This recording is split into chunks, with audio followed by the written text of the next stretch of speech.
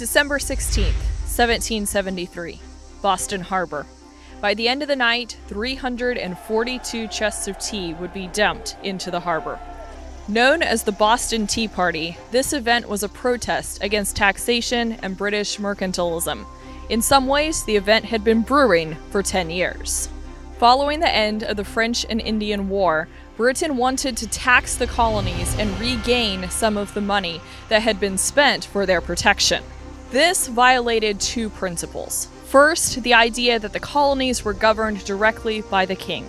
Second, the theory of mercantilism, which said that a mother country would protect the colonies since they provided a vast amount of income.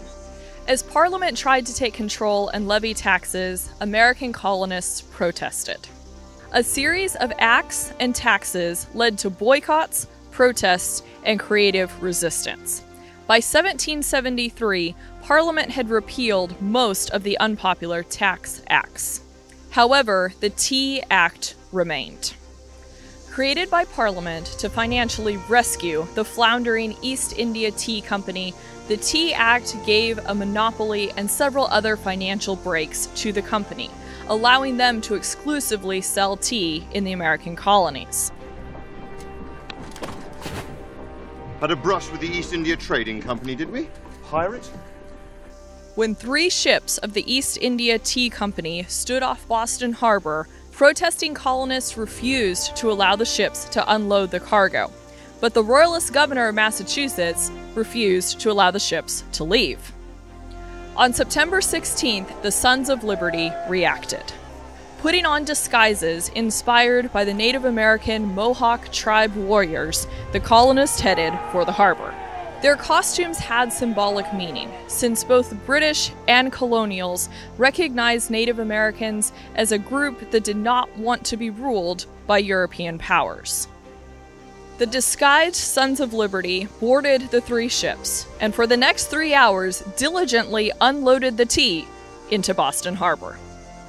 It's estimated that 92,000 pounds of tea were emptied into Boston Harbor that night, and the estimated value of that lost cargo was around $1,700,000 in modern US currency.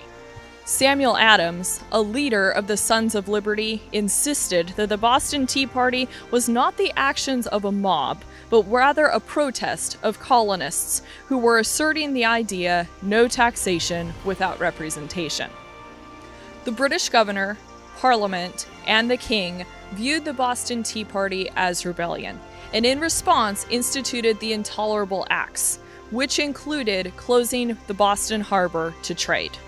Though the start of the American Revolution and the shot heard round the world was still more than a year and a half away, the Boston Tea Party was a major moment in the road to rebellion and eventual independence for the American colonies. John Adams, a relative of Samuel Adams, noted in his diary a few days after the Boston Tea Party This is the most magnificent movement of all. There is a dignity, a majesty, a sublimity in this last effort of the Patriots that I greatly admire. The people should never rise without doing something to be remembered, something notable and striking. This destruction of the tea is so bold, so daring, so firm, intrepid, and inflexible, and it must have so important consequences and so lasting that I can't but consider it as an epocha in history.